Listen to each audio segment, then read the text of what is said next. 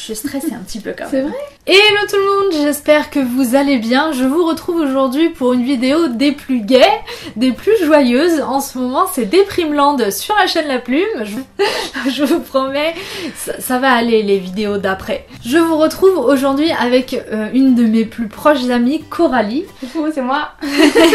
que j'ai rencontrée lors de mon, enfin lors du master, puisqu'on a fait le même master. Et aujourd'hui, on va vous parler du fait de perdre un proche, du deuil en général, et on va en fait vous raconter nos expériences personnelles. C'est vraiment important qu'on le précise. Ça va être nos histoires, ça veut, ça veut pas dire que tous les deuils euh, se, se passent comme ça. C'est une vidéo qui nous tient beaucoup à cœur parce que lorsque nous on a perdu euh, nos proches, en tout cas moi personnellement je crois que toi aussi, Mm. c'est une vidéo je pense qu'on aurait aimé voir et je pense, j'espère en tout cas c'est notre but que ça aidera des personnes, peut-être les proches aussi des personnes qui sont en deuil. On a également demandé à ce que vous posiez des questions sur Instagram parce qu'on s'est dit peut-être qu'il y a des choses, des points qu'on va, auxquels on va pas penser, vous vouliez aborder donc euh, je pense que ça va être le cas. Donc euh, écoutez on est parti.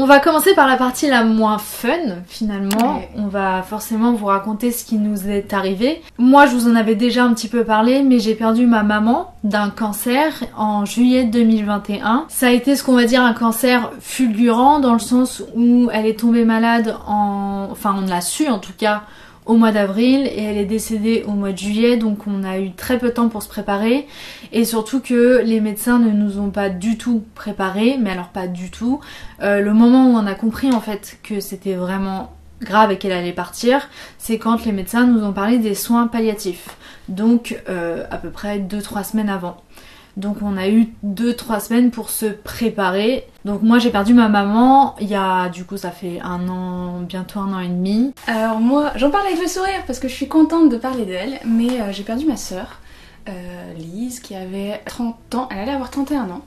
Elle était enceinte de 3 mois de son deuxième enfant. Elle, c'était un accident de la route, voilà, elle allait au travail euh, sur son vélo et euh, s'est fait renverser par un camion, par un poids lourd qu'il avait pas vu, hein, bêtement. Évidemment qu'il l'avait pas vu, Coralie. et du coup, voilà, moi pour le coup, autant Margot, ça a été étalé sur plusieurs semaines, plusieurs mois, autant moi, ça a été. Bam, bah j'apprends le jour de la rentrée en master, hein, voilà. Le jour de la rentrée, premier cours, je vois que mon beau-frère m'appelle, je réponds pas, je me dis qu'il a pas dû capter que c'était euh, le premier jour de- des cours. Et euh, du coup, c'est entre deux cours que euh, bah, j'ai appris qu'elle s'était faite euh, écraser par un camion, mais du coup, on savait pas ce qui était exactement arrivé. Et c'est plus tard encore que euh, des pompiers m'ont appelé, mais c'est toujours pas eux qui m'ont annoncé, donc il s'est vraiment écoulé 4 heures en gros, pendant lesquelles j'ai pu me faire tous les scénarios possibles et inimaginables. Euh, mais du coup, voilà, c'est une de ses collègues qui m'a appris au téléphone. Oui c'est vrai, ça c'est un point euh, qui nous a liés parce qu'on est, on est très ouf. proches. euh, et notamment par, parce que on a perdu toutes les deux un proche à des périodes assez proches. On était déjà copines Ouais. Ce- quand j'ai perdu ma mère, mais ça nous a encore plus, euh, Ouais, bah clairement, ouf, encore plus rapprochés carrément. quoi. Écoutez, on a envie euh, de rendre un petit hommage euh, à ces deux magnifiques personnes qui De sont parties. Donc voici une petite photo de ma maman qui était euh, la plus belle. Euh, Je suis très objective bien évidemment. Et voici euh, une photo. de Lise, qui était aussi la plus belle. Voilà, hein, toujours très objective. Voilà.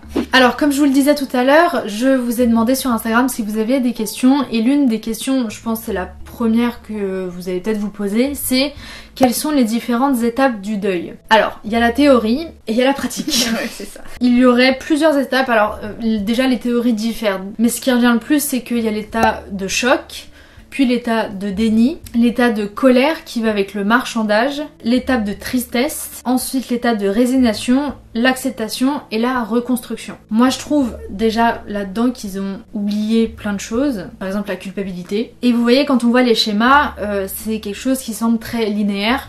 Alors ils le disent eux-mêmes que les étapes en soi elles sont pas, c'est pas l'une après l'autre, c'est pas vous allez pendant un mois dans, dans le déni, un mois euh, dans la colère. Je pense que si c'était si simple, si c'était si facile, tout le monde le ferait. Enfin, quand je lis les étapes, je me dis, alors oui, forcément la tristesse, le choc.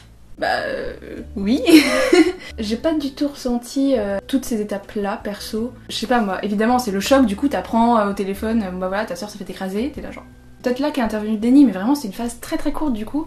Pendant l'appel avec mon beau-frère, mon premier réflexe c'était de me dire mais c'est bon, euh, il me fait une blague, tu vois, c'est pas possible, euh, je le connais, c'est un petit farceur, machin. Puis après je me dis genre personne fait ça. Et au fait euh, peut-être un tel il est mort genre assez vite. Le déni s'est arrêté. Je pense vraiment que chacun a ses étapes, chacun fait son petit mix, chacun réagit comme il peut, parce que là c'est vraiment, c'est plus de la volonté, là c'est chacun fait ce qu'il peut, ce qu'il peut avec les moyens du bord. Moi j'en ai ressenti euh, plusieurs dans celle Mhm. que je viens de te citer. Genre j'ai eu le choc quand j'ai vu, parce que alors moi j'étais présente quand ma mère euh, est décédée, elle est décédée sous mes yeux. Comme je vous disais, euh, on était censé être préparés, puisque ça faisait trois semaines qu'on savait qu'elle allait partir. Euh, honnêtement, on n'est jamais prêt. Quand j'ai vu son pouce arrêter, parce que j'ai littéralement vu euh, son pouce arrêter et son dernier souffle, mon monde s'est effondré, j'ai vraiment eu euh, le choc. J'ai jamais été confrontée à la mort autrement. J'ai jamais connu euh, mes grands-parents, encore moins quand ils sont décédés. Et genre vraiment, j'ai comme toi, ce- le monde qui s'écroule. Et genre le fait que c'est impossible, vraiment c'est inconcevable. Moi, je ma, ma soeur, je l'avais vue la semaine d'avant, quoi, même pas dix jours avant. Pour moi, c'était pas possible. Et surtout ma soeur, enfin pour moi, bah, je pense que pour toi ta maman c'était pareil, tu vois. Moi, ma soeur, c'était mon monde, c'était, euh, bah, du coup, c'était ma soeur, c'était ma meilleure amie, c'était, elle m'a appris plein plein de trucs, c'était ma confidente, c'était absolument tout. Et du coup, je pense que tu peux encore moins réaliser, enfin genre impro enfin ouais, improbable comme tu, tu te réveilles un matin et puis boum, ça y est, c'est Mais voilà, pour les étapes du deuil, euh, je pense qu'il n'y a pas de règles en fait, et que moi je sais que dans une même journée, je pouvais vivre euh, la colère, la tristesse, la culpabilité et le déni dans la même journée. vraiment chacun fait son chemin, chacun fait ce qu'il peut. Ça m'a permis de vraiment faire les choses à mon rythme. Là, il y a personne qui peut vous dire quoi que ce soit. Il y a que vous qui saurez. J'en prends une au hasard, mais en fait, euh, c'est une des choses qui est le plus revenue. Que dire pour ne pas dire une connerie pour aider son ami? Que dire à quelqu'un qui vient de perdre un proche? Je me sens souvent démunie. J'ai un ami qui a perdu son papa il y a quelques mois, sans savoir comment savoir ce dont il a besoin? C'était Ouais. juste pour montrer qu'en fait, c'est vraiment quelque chose qui est beaucoup revenu. C'est quand on a quelqu'un de proche qui a perdu quelqu'un. Que faire T'es pas dans sa tête, malheureusement, il n'y a pas mille possibilités. Et là, c'est le moment, les gars, de dégainer votre meilleure arme, la communication. Tu mettras hein, le petit truc genre, la communication. Je crois que c'est le moment où j'ai vraiment découvert l'importance de la communication. a- J'ai appris justement à faire les choses à mon rythme et à dire, bah écoutez, là je me sens pas bien. Écoutez, là c'est une journée sans. Euh, là aujourd'hui j'y arrive pas. Là j'ai besoin de ça. Moi, ce qui m'a aidé et ce que j'ai essayé de reproduire avec toi, et j'ai l'impression que ça a fonctionné, c'est juste dire, bah comment ça va? Et juste ouvrir la porte parce que souvent genre t'as envie par réflexe de un peu prendre sur toi et te dire bah j'ai envie de protéger les gens du monde extérieur de, de, de tout ce qui se passe j'ai pas envie de leur imposer forcément euh, la mort enfin c'est un truc qui est hyper violent par définition. Et du coup t'oses pas forcément dire ce que tu ressens t'oses pas forcément parler aux autres de toi-même. Ouvrir euh, ouvrir la porte et euh, instaurer justement un safe space et dire bah écoute si tu vas pas bien si t'as envie d'en parler je suis là. Soyez prêts aussi à entendre bah, du négatif soyez prêts à entendre des pensées hyper dures. Euh, souvent malheureusement il y a des dépressions qui suivent des deuils. Et, et c'est des moments enfin, voilà on a fait une chacune. Faut vous attendre à, à vraiment des réponses qui peuvent vous tabasser aussi. Pas donner le relais peut-être à quelqu'un d'autre. Dites aussi quand vous vous en pouvez plus c'est important de vous écouter vous aussi si vous êtes ami d'une personne qui a perdu quelqu'un Moi, je tiens à rajouter que vraiment, je l'ai vu dans mon entourage, j'ai eu plusieurs réactions différentes. Parce que la mort, en fait, le problème, c'est que c'est un sujet qui est hyper tabou. Euh, et les gens ne savent pas comment l'aborder. Et c'est-à-dire que même nous, en tant que personne qui a perdu un être, on ne sait pas comment aborder la mort avec les autres. Ce qui m'a le plus aidé, c'est que la grande majorité de mes amis et de ma famille, en fait, me demandaient de quoi tu as besoin. Parce que au final, on peut avoir des besoins totalement différents. Euh, je l'ai vu aussi passer dans les questions, il y en a qui disent euh, je sais pas si je dois euh, proposer de sortir, si je dois au contraire lui proposer de juste prendre un thé. En fait, pour moi, à mon sens, enfin moi en tout cas c'est comme ça que je l'ai ressenti, ce dont j'ai eu besoin c'est qu'on me demande de quoi tu as besoin. Mm. En plus de comment ça va, c'est de quoi tu as besoin. Parce qu'il y a des fois, j'avais pas envie d'entendre comment ça va, ouais c'est vrai de quoi t'as besoin, et du coup je pouvais répondre j'ai pas envie d'en parler. Parce qu'il y a des jours où j'avais pas envie d'en parler. Et d'autres où au contraire j'avais besoin de déverser tout ce que j'avais à déverser. C'est aussi, euh, ça arrive avec la mort. Euh, j'ai perdu un ami, pas mort. hein. vaut mieux préciser Margot dans le contexte là. Pardon. J'ai perdu une amitié parce que euh, cette personne-là, en gros, les mois après euh, l'en- l'enterrement, ne prenait jamais de nouvelles. Et quand cette personne en prenait, euh, elle faisait comme si de rien ne s'était passé. Et en fait, moi, j'ai pas supporté. On a fini par en discuter parce que moi je me suis vachement éloignée de cette personne-là. Et en fait, lui m'a dit que la mort c'était un sujet qui qui lui faisait peur, qui savait pas comment en parler et qui savait pas ce dont j'avais besoin. Et je lui ai tout simplement répondu, bah en même temps tu m'as pas demandé. Moi ça m'a fait perdre cette amitié parce que je me suis dit, euh, si je peux pas compter sur cette personne dans un moment comme ça, bah... Quand est-ce qu'on peut compter sur lui quoi? Pour moi, il faut pas faire genre il s'est rien passé. Enfin, mhm. après encore une fois, on est vraiment dans notre expérience personnelle. On, va, on va passer à cette question-là parce que je la vois beaucoup passer. C'est par exemple, là j'ai comment surmonter la culpabilité? Par exemple, ne pas être allé la voir juste avant. J'ai souvent le j'aurais dû dire ça, j'aurais dû faire ça, même si je sais que ça n'aurait pas changé l'issue. Le sentiment de culpabilité s'en va-t-il au bout d'un moment? Alors là, moi, je vais pas du tout pouvoir répondre. Tu je suis désolée, voilà, je suis désolée. Est-ce que t'as ressenti de la culpabilité? Absolument pas, parce que euh, en gros, 2020 était l'année où je voulais sortir de ma zone de confort. Mais du coup, euh, je m'étais fixé l'objectif. Euh, c'était pas une bonne résolution, mais c'était, ben voilà, j'ai envie de dire je t'aime à mes proches. Je crois que c'était le jour où ma soeur et mon beau-frère nous ont annoncé qu'elle était enceinte d'un deuxième enfant. Que moi je suis arrivée avec une petite boîte de chocolat. Donc j'ai enrobé le truc dans du chocolat, des petits mots et tout. Et je leur ai dit, bah voilà, je vous aime, vraiment, vous êtes des personnes incroyables, etc. Voilà, je voulais vraiment.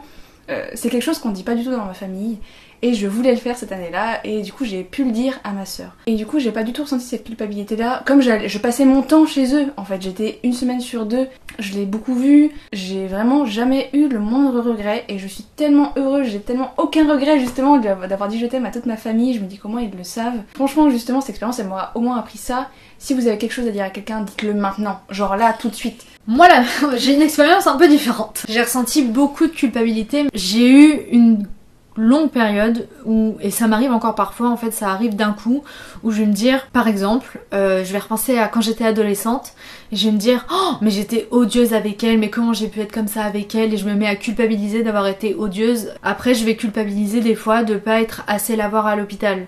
Alors que, objectivement, j'y allais tous les jours, donc je, pouvais pas faire plus. Quand elle était malade, mais qu'on savait pas encore qu'elle allait mourir, on s'est engueulé et je me suis mis à culpabiliser de ça, alors qu'en fait, bah, la vie était elle, était, elle faisait son cours, donc c'est normal de s'engueuler encore. J'ai eu la grosse phase de colère pendant mon deuil.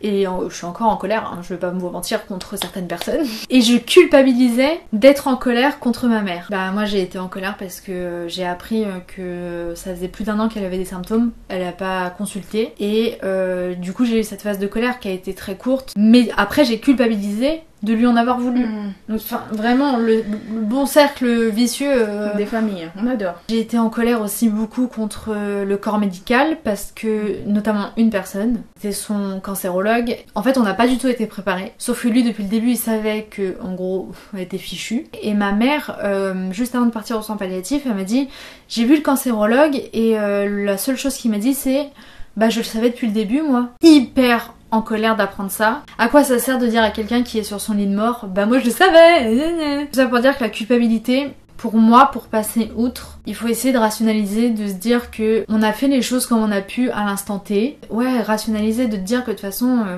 on n'est pas parfait. Je sais pas comment on peut passer outre. En fait, pour moi, il faut essayer d'objectiver le truc. Essayer de se dire, si c'était une autre personne, est-ce que je lui en voudrais, tu vois? C'est pas clair. Bah si, en gros, plutôt que de, de, de de culpabiliser par rapport à un de tes comportements, tu te dis est-ce que si un de mes amis avait eu ce comportement-là, je lui en voudrais C'est mieux T'as vachement plus éclairci le truc. Eh ouais, tu crois quoi Tu es ma lumière.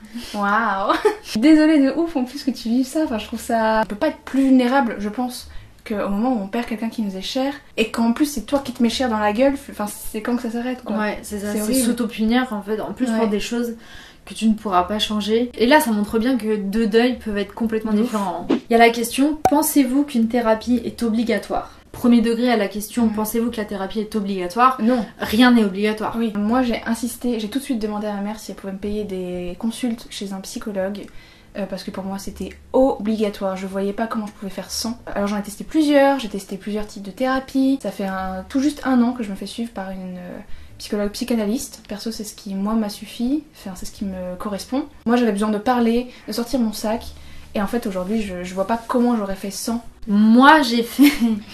j'ai. Euh, comment dirais-je J'ai mis sous le tapis. Euh, clairement, sous mon beau paillasson, euh, mon deuil pendant l'année de Master 2. Je pense que j'ai mené un chemin quand même et que j'ai avancé, mais pendant plus d'un an, du coup, je me suis pas du tout fait suivre. Quand je me suis retrouvée sans emploi, après le Master, j'ai décompensé. C'est ce qu'on appelle décompenser. J'ai, pour le dire plus vulgairement, pété un boulon, mais du jour au lendemain. Donc aujourd'hui, personnellement, je suis aussi une thérapie.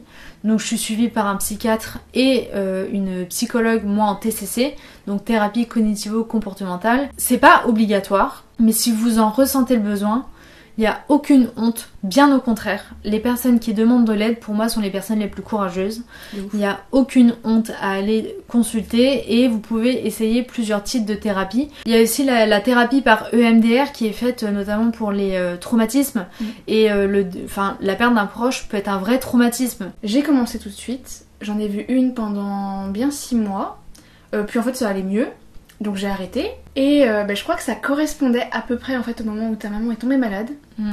Et en fait, c'est le jour où elle a décidé. Alors là, c'est parti en live les copains. Et heureusement, euh, mon copain de l'époque m'a emmené aux urgences. Il a extrêmement bien fait. Et euh, bah voilà, on parlait de dépression tout à l'heure. Moi, j'ai complètement plongé dedans.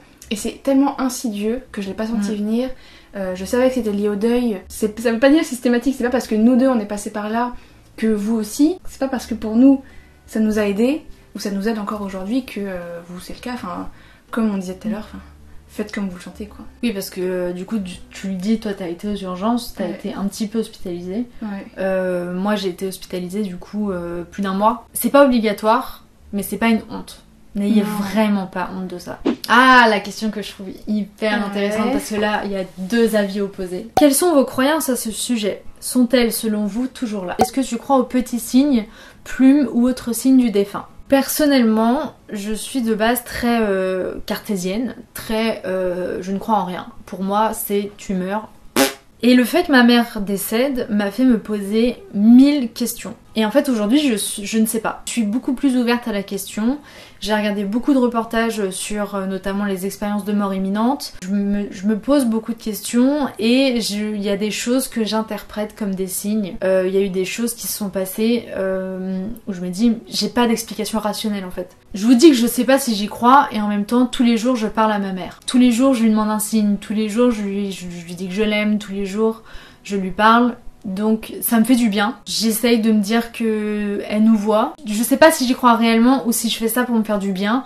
Dans tous les cas, ça me fait du bien. Donc je lui parle et euh, j'espère que ma mère m'entend. Kiff kiff quoi. Je suis une miaise. Hein. J'ai le cul entre deux chaises. J'ai j'ai plus d'autres expressions pour exprimer euh, cette cette Déjà mi figue mi raisin, c'est déjà pas mal. C'est pas mal. Moi ma croyance c'est tu meurs, euh, voilà, c'est fini, c'est synthétique. Et j'aimerais des fois euh, pouvoir y croire. Mais euh, pour moi, on est vraiment juste un tas d'atomes, genre, euh, bah, quand c'est fini, c'est fini, quoi. Moi, j'aimerais bien, des fois, euh, pouvoir lui parler. Alors, des fois, je lui parle, mais c'est pas...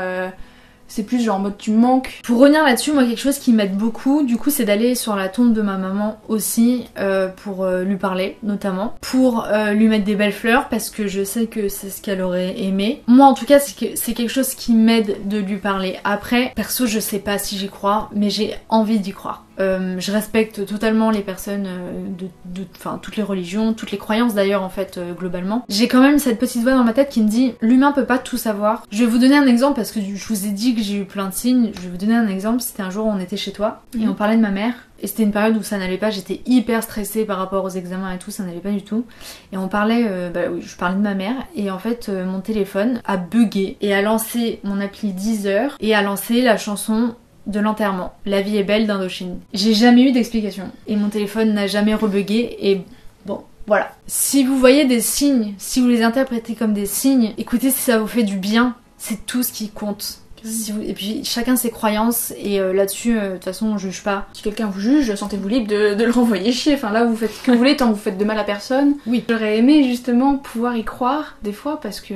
Enfin, je sais pas, j'aimerais pouvoir croire justement qu'il y a quelque chose derrière, qu'elle me voit encore, euh, qu'elle est fière de moi. Je sais pas, juste me dire, bah peut-être qu'elle va bien. pense que ça m'apaiserait vachement. Il y a un blocage dans mon cerveau, genre vraiment c'est pas possible, c'est pas compatible pour moi du tout. Chacun ses croyances. Voilà. Globalement, je sais pas comment le résumer, mais je vais vous mettre euh, 10 000 screens. Il y en a plein qui demandent comment remonter la pente, comment faites-vous pour reprendre votre vie et retrouver votre sourire, euh, ce genre Oh la de choses. vache Bah, c'était sûr que la question allait être posée parce que c'est c'est la- c'est la- c'est une question que même nous on se pose en fait. Vous allez entendre le truc bateau que vous entendez certainement des- que ce soit pour euh, le deuil euh, de la perte d'un proche ou le deuil d'une rupture, c'est la même chose. Mm. Le temps. Vraiment, moi, ce qui m'a aidé, c'est de pouvoir compter sur euh, mon cercle social. Mon ex, il avait déjà perdu euh, quelqu'un. euh, et du coup, c'est con, mais d'avoir quelqu'un qui avait déjà subi ça, qui pouvait m'expliquer que c'était ok, que j'ai des crises d'angoisse. euh, voilà quelques trucs pour les crises d'angoisse, tu peux en parler à ton médecin. Bah, du coup, de pouvoir ensuite en parler avec Margot. Globalement, en fait, d'avoir des amis qui, même s'ils n'ont pas vécu de deuil, étaient juste là. Je sais pas si on a de la chance de ouf ou si c'est parce qu'on est en psycho. Un cercle social qui est assez Ouais, qui est ouf incroyable. et qui était surtout sensible à nos sautes d'humeur, enfin en tout cas aux miennes. C'est con, mais en fait quand je repense au jour où j'ai appris l'accident de ma sœur, euh, c'est incroyable. Enfin pour moi c'est une preuve d'amitié incroyable où genre j'ai dit putain les gars là j'ai besoin d'aide. Bim, il y a un de mes potes qui est arrivé à la fac, qui est venu me chercher pour me raccompagner jusqu'à chez moi, qui était là du coup au moment où, euh, où j'ai appris, je me suis effondrée par terre quand j'ai appris que ma sœur était morte. Et lui qui est pas du tout tactile habituellement, il m'a genre juste, il a rien dit. Il y a- parce qu'il y a rien, il y a rien qu'on puisse dire malheureusement au, vraiment au moment où on apprend le truc. Il m'a juste pris dans ses bras. Il a juste rien dit. On est resté comme ça. Je sais même pas combien de temps on est resté comme ça. Et vraiment, quand je repense à, à tous ces moments-là, c'est con. J'en parle avec le sourire, alors que c'est le moment le plus atroce de ma vie.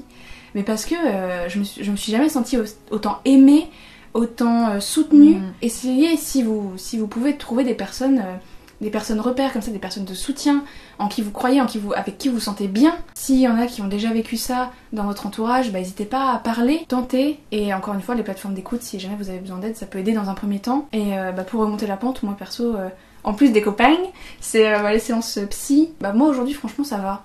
Voilà, j'espère que j'ai redonné espoir à des gens, mais franchement, ça va. Au début, c'est tout le temps euh, le bas, t'as l'impression que tu vas jamais pouvoir aller plus bas. Et puis un jour, ça va un tout petit peu mieux, mais un tout petit peu, genre juste tu pleures un peu moins. Un super haut, puis après ça va redescendre encore plus bas, tu sais pas pourquoi. Et puis un moment, je sais pas, ça se stabilise.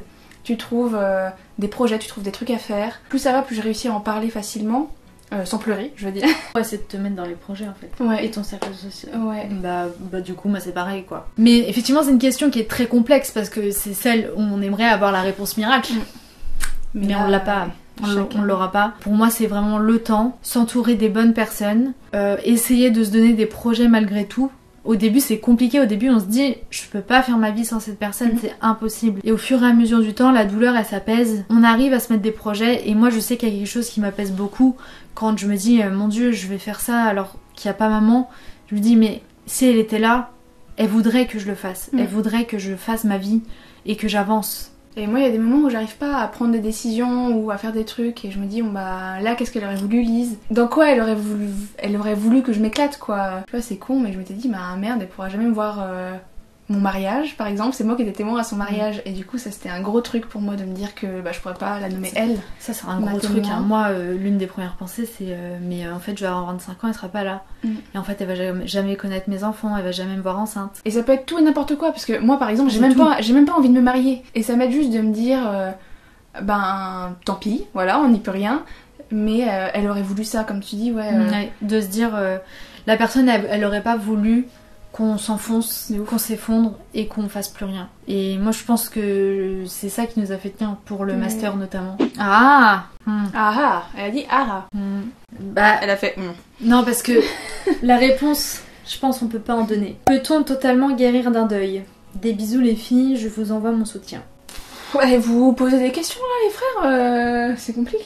Bah, Moi, je vois pas comment on peut. moi c'est une vraie question que je me pose euh, tous les jours. hein. De, est-ce que en fait un jour, je peux me dire, là mon deuil il est fait? Et Je je, pense pense, pas.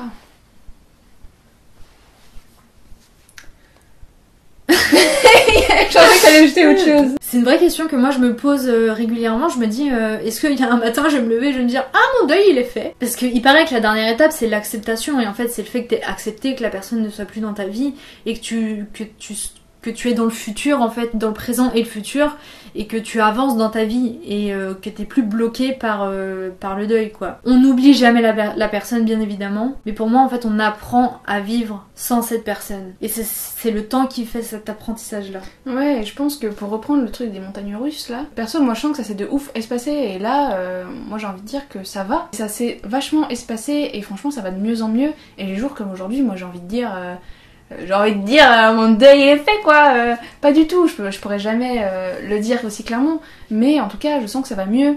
Et franchement j'ai envie de vous redonner espoir et de vous dire mais je vous promets. Franchement je vous jure si là vous en chiez votre race je vous promets que ça ira mieux. Et moi je me souviens qu'au début je comptais les jours. J'étais là putain là ça fait une semaine et j'ai pas pensé à ma soeur alors ah si j'avais ce truc de culpabilité tiens. À ce moment là de me dire mais. Putain, mais je suis vraiment égoïste quoi.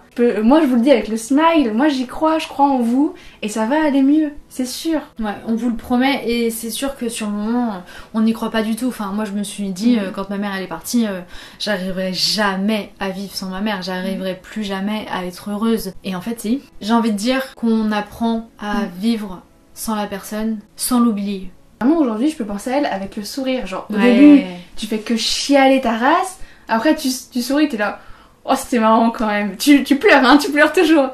Et là vraiment aujourd'hui je suis tellement contente de pouvoir parler d'elle, je sais pas, j'ai l'impression de, perpétuer un peu sa mémoire. L'autre jour, je rentre, alors je vis chez ma mère pour l'instant, et ma mère est en train de parler au téléphone. Je savais pas avec qui elle était au téléphone. Mon cerveau il s'est dit putain ça doit être Lise. ça fait tellement longtemps qu'on n'a pas eu de nouvelles. J'ai eu ça. Mais moi ça m'arrive, ça m'est arrivé plein de fois. Ah où euh, genre j'ai pris mon téléphone, je me suis dit tiens, je vais appeler maman. Et ça dure pas longtemps. Et perso, ça m'a plus déstabilisé que ça m'a fait du mal. Mais par contre, c'est hyper dur. un autre truc qui est pas cool aussi, c'est les cauchemars ou les rêves avec la personne. J'en ai pas fait beaucoup, punaise, heureusement. Et là, je me réveille et je fais bah non, elle est morte. Et genre, comme t'es encore un peu dans le pâté, tu pleures, tu pleures, tu pleures. tu te reprends. Euh, de toute façon, euh, moi, toutes les premières semaines, ça a duré longtemps. Tous les matins, j'avais l'impression de réapprendre la nouvelle. Ouais, c'est vrai. Qu'en fait, je me réveillais d'un cauchemar et de, de me dire, bah non, c'est ma réalité. C'est horrible. C'est en fait, c'est un coup de marteau euh, tous les matins. Ah ouais, ça je trouve ça intéressant. Ce n'est pas une question, mais peut-être parler du fait qu'au début on est très entouré, mais que, alors j'ai pas la suite, mais que en gros après euh, on l'est beaucoup moins parce que les gens reprennent leur vie quoi. En gros, c'est vrai que tu te prends comme je disais tout à l'heure, une décharge d'amour dans la gueule, genre t'as jamais connu ça. Enfin en tout cas, je vous souhaite que vous ayez tout ce soutien là. Et c'est vrai que du coup, bah après, normal, euh, eux ils ont repris leur vie et je me suis retrouvée avec mon cercle plus réduit. Mais en fait, ça m'a, j'ai ressenti ce décalage. Ça m'a fait un petit peu de peine. Mais en fait, comme j'avais ces personnes, euh, les gars sûrs quoi, vraiment les gens avec qui euh, tu peux compter, avec qui tu peux parler de tout et de rien, avec qui tu sais que tu peux en parler. Et du coup, ça m'a pas hum, peiner plus que ça. Ouais, c'est vrai qu'au début on se sent vachement entouré parce qu'il y a l'enterrement, il y a tout le monde est là pour toi en fait. Mm. T'es oppressé d'amour, ce qui fait beaucoup de bien et ce qui est hyper important. Mais après les obsèques, moi j'ai envie de dire, le jour de la mort, t'as l'impression que c'est le pire jour. Et en fait pour moi, l'enfer c'est les jours d'après, les, les semaines, les mois d'après, où t'as vraiment le manque qui s'installe où tu réalises que la personne elle est vraiment plus là et où en plus je trouve que les gens sont moins présents parce que c'est normal, ils ont repris leur vie, on peut pas leur en vouloir, hein. moi je leur en veux pas du tout. Hein. Ah, c'est là que ça fait mal, je trouve. Du fait, euh, les gens au début prennent beaucoup, beaucoup de tes nouvelles, beaucoup, mm. beaucoup. Euh, des fois tous les jours, de, après toutes les semaines, et puis ça s'espace, et puis en fait, au bout d'un moment, ils, ils te demandent plus comment ça va par rapport à ça me sens moins entourée quoi. moi ça, ça allait parce que du coup j'avais mon ex qui était hyper présent, on habitait ensemble et tout donc dès que j'avais un problème je savais que je pouvais lui en parler, il y avait je compte plus le nombre de fois où euh, juste il a rien dit, il me tenait dans ses bras et moi je pleurais, je pleurais, je pleurais et du coup j'avais toujours euh, euh, il était toujours là. Mes amis les plus proches prennent des nouvelles mais les autres t'en parlent plus en fait et du coup c'est comme si euh, ça s'était pas passé. Et moi j'aime alors que pour moi c'est encore très vif. Mm. et, encore une fois je ne leur en veux pas parce que c'est normal que chacun reprenne sa vie. Non j'allais dire aussi d'où l'importance de, de, demander comment ça va régulièrement aussi quoi. Ouais non mais juste pour prendre des nouvelles. Si vous avez un proche ouais prenez des nouvelles. Oui de ouf et soyez attentifs vous pouvez dire mais écoute je trouve que tu t'es un peu renfermé ces derniers temps est-ce que tu vas bien? Et ça peut peut-être que ça aura rien à voir avec son deuil peut-être que ce sera euh, complètement autre chose mais dans tous les cas vous êtes là pour, euh, pour lui ou pour elle et c'est ça qui compte ah putain, j'aime bien cette question aussi. Peut-on envoyer un message pour l'anniversaire de la mort à un ami qui a perdu un proche? Ah, trop top. Ben, la personne qui a pensé à ça, c'est hyper mignon. Moi, le premier réflexe que ça, c'est que ça me touche. Moi aussi. De ouf. Moi aussi. Après, Alors là, on, on rappelle. Là, c'est notre, notre ressenti à nous. Ouais. Moi, ça me touche trop. euh, quand moi, j'ai reçu des messages euh, à l'anniversaire là euh, Ouais. en juillet. J'en ai reçu plusieurs pour me dire courage. si t'as besoin, je suis là, avec des petits cœurs et tout. Et moi, ça m'a énormément touchée. Ouais, et sans dire beaucoup d'autres choses en Ouais, plus. Juste, dire euh, courage si t'as besoin, je suis là. Ouais, moi on m'avait envoyé euh, Hello, euh, bah, je pense à toi aujourd'hui, force à toi, tu vois. Vous pouvez le faire et au pire ça, ce sera l'occasion d'en parler et la personne dira bah écoute en fait j'ai pas trop envie d'en parler, j'ai pas trop envie qu'on me rappelle ça. Vous connaissez vos proches, vous savez si c'est quelque chose qu'ils vont apprécier ou pas. Pour moi, euh, vous le saurez, euh, vous le saurez. Comment vous, vous aimez que les gens réagissent quand ils apprennent votre deuil? Moi j'attends surtout de la compassion et, euh, et juste quelques mots de bah, je suis désolée ou toutes mes condoléances ou de l'empathie Ouais. en fait. De l'empathie et ce qui est le plus dur c'est quand les gens réagissent pas en face, euh, quand ils répondent pas alors c'est sûrement que ça vient toucher quelque chose chez eux, hein, euh, qu'ils Ou savent qui sont gênés, parce Ouais, que la mort est un sujet tabou, malheureusement. Perso, moi c'est pareil, j'attends Ouais. la- j'attends une réaction en fait. Mm. J'attends pas que. je- C'est pas comme si je venais te dire euh, je vais pisser. Mm. Je viens de te dire ma mère est morte. Ouais. Donc s'il te plaît, réagis un minimum. Mm. Et pour moi, le minimum c'est c'est de dire bah, voilà, je suis, oh, je suis désolée ou. Euh, bah, je, suis- je suis là si t'as besoin, Mm. ou euh, toutes mes condoléances. Enfin, next question. Alors là, ça va être que pour moi. Comment tu as vécu la fin de vie de la personne? Je le vis en ce moment, j'en tremble et pleure. Je suis désolée aussi pour toi. En trembler et en pleurer, ça me paraît totalement normal. Euh, là, il y a que moi qui vais pouvoir répondre parce que du coup, moi, j'ai connu la fin de vie en fait et cette attente de la mort finalement. C'est une période qui est très dure, qui est vraiment extrêmement compliquée parce qu'on voit la personne se dégrader de jour en jour souffrir parce que malgré les, la morphine, les sédatifs, les machins, euh, la personne en fait, euh, elle est à moitié dans le coma, elle est dans un état et, et j'ai beaucoup culpabilisé de ça et en fait, il n'y a pas à culpabiliser de ça.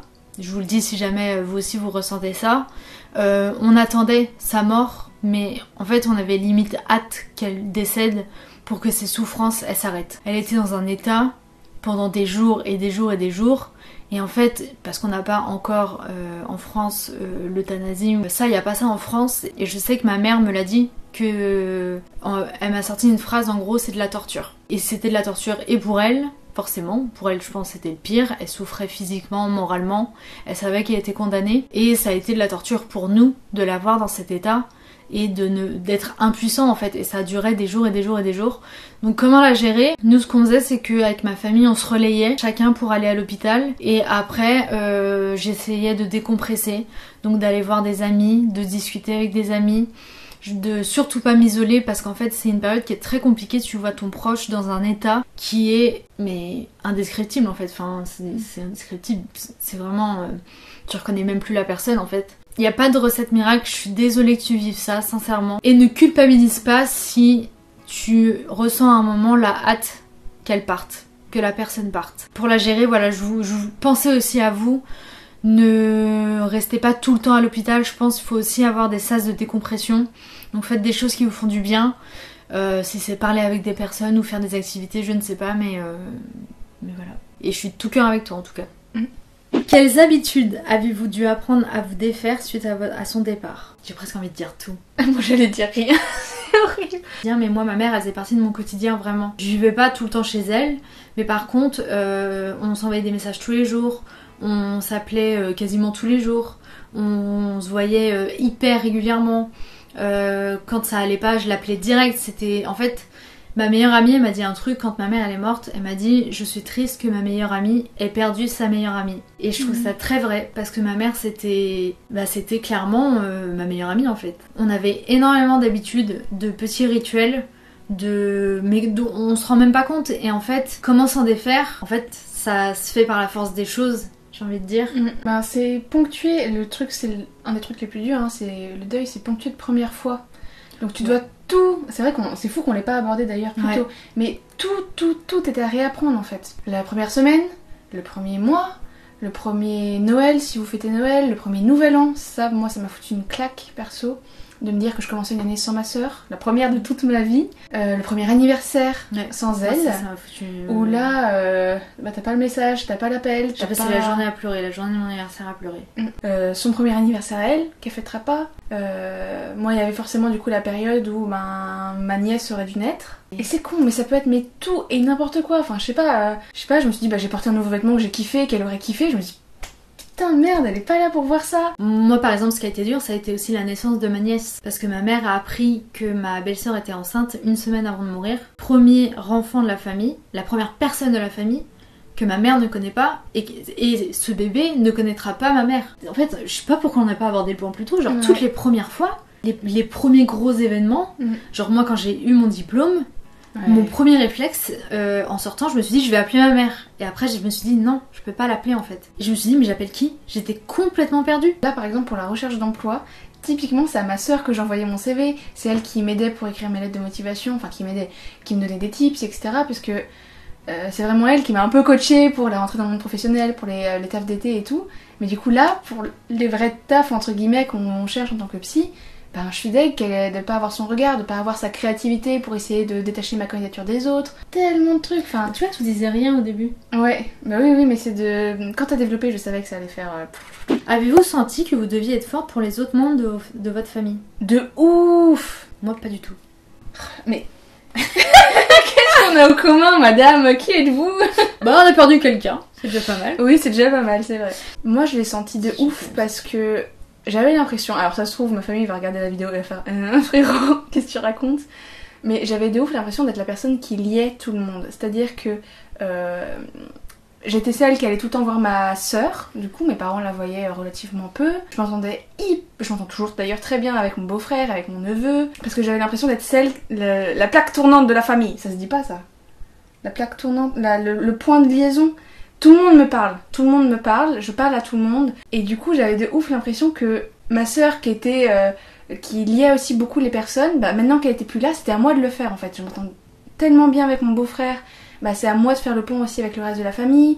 Euh, c'est à moi, c'est moi qui me mets ce rôle-là, hein, clairement. Bah, je devais continuer d'avoir ce rôle-là et je devais aussi montrer, euh, pas l'exemple non plus, mais. Bah, si, ouais, je devais, je devais faire genre que j'étais forte quoi. Que tout le monde ait une porte pour dire les choses, que. S'ils en ressentaient le besoin. Et ça, pour le coup, il y a plusieurs membres de ma famille qui ont fermé cette porte-là, qui voulaient pas parler.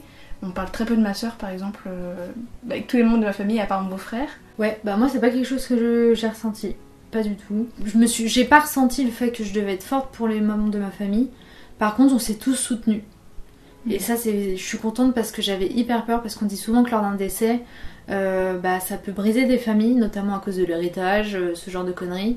Euh, et en fait, moi, au contraire, c'était ma mère qui était le- un peu le ciment de la Mhm. famille, tu vois. Et euh, du coup, j'avais très peur que la famille euh, se brise, qu'on se voit moins, qu'on ne se parle plus. Et en fait, ça a fait l'effet inverse.